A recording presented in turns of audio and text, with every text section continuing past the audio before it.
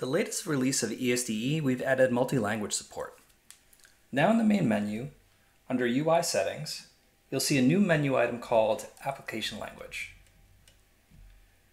By default, this is set to automatic, and for most cases, you can leave it at this setting.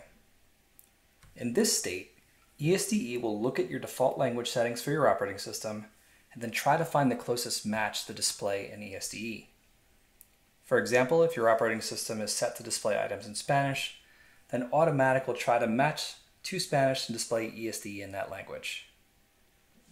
However, in addition to Automatic, you can manually set the language yourself by opening this menu and then selecting the menu you like and just changing it that way. So for example, if I were to select Spanish here, you'll see the help interface below as well as the menu have all been translated into that language. And the same is true for other languages.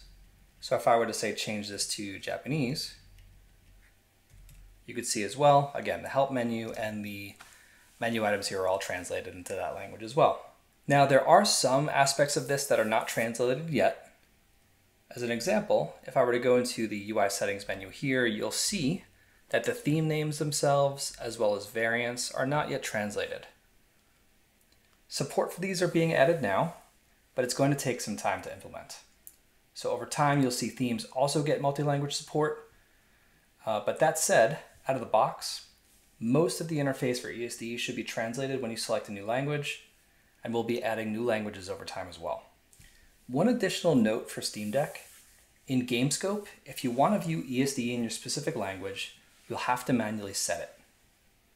We are unfortunately not able to pull the language setting from the OS through GameScope, into the application itself.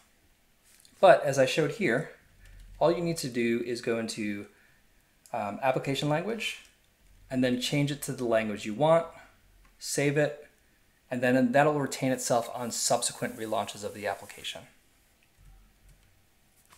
All right, if you're a translator and want to help us add a language that's not yet supported, please join us on Discord.